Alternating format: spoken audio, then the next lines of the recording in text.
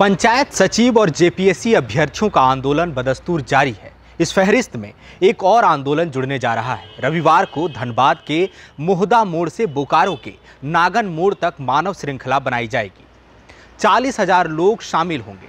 आपके मन में सवाल होगा कि ये मानव श्रृंखला आखिर किस सिलसिले में बनाई जा रही है? आंदोलन की वजह क्या है? लोगों की मांग क्या है? इसमें कौन कौन लोग शामिल होने वाले हैं? चलिए, सब कुछ जानते हैं। नमस्कार, आप देख रहे हैं द फॉलो अप मैं हूँ सूरज। बता दूँ कि दिसंबर 2021 में कार्मिक विभाग ने संशोधित नियमावली का गठन किया था। इसमें जिला स्तरीय पदों के लिए बतौर स्थानीय भाषा, भोजपुरी, मगही और अंगिका को शामिल किया गया। मैट्रिक और इंटर स्तर पर ली जाने वाली प्रतियोगिता परीक्षा के लिए प्रावधान किया गया था। धनबाद और बोकारो दो ऐसे ज़िले हैं जहाँ भोजपुरी और मगही को शामिल किया गया है।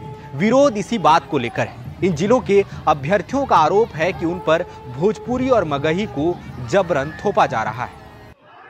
हमने इस सिलसिले में कुछ अभ्यर्थियों से बातचीत भी की। उनका कहना है कि धनबाद और बोकारो की सीमा बिहार से सैकड़ों किलोमीटर दूर है। इन जिलों में भोजपुरी और मगही बोलने वाले लोग दो फ़ीसदी से भी कम है। बावजूद इसके महज सियासत के लिए भोजपुरी और मगही को शामिल कर लिया गया। गौरतलब है कि बोकारो और धनबाद में पहले से स्थानीय भाषा के रूप में बांग्ला, नागपुरी, खोरठा और कुरमाली मौजूद है।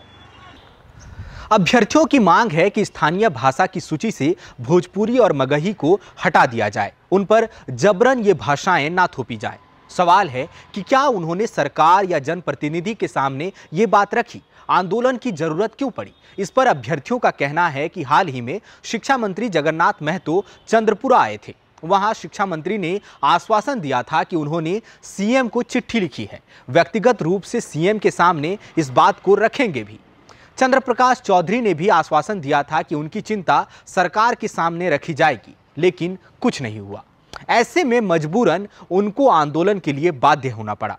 रविवार को सुबह साढ़े दस बजे से दोपहर दो बजे तक धनबाद के मोहदा मोड़ से बोकारो के नागन मोड़ तक मानव श्रृंखला बनाई जाएगी। बड़ी संख्या में लोग इसमें शामिल होंगे। अंत में आपको बता दें कि कार्मिक विभाग ने मैट्रिक और इंटर स्तर पर जिला स्तरीय पदों के लिए जो संशोधित नियमावली बनाई थी, उसमें अलग अलग जिलों में भोजपुरी, मगही और अंगिका को शामिल किया गया था। लातेहार और चतरा में मगही भाषा जोड़ी गई, पलामू, गढ़वा, धनबाद और बोकारो में भोजपुरी तथा मगही को जोड़ा गया, दुमका, जामताड़ा, साहेबगंज, पाकुड़ और गोड्डा में अंगिका को शामिल किया गया।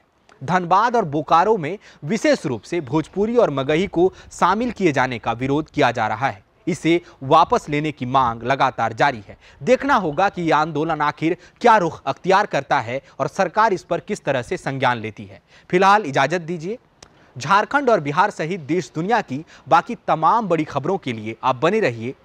द फॉलो अप के साथ धन्यवाद। Thefollowup.in. Like, share, and subscribe. www.thefollowup.in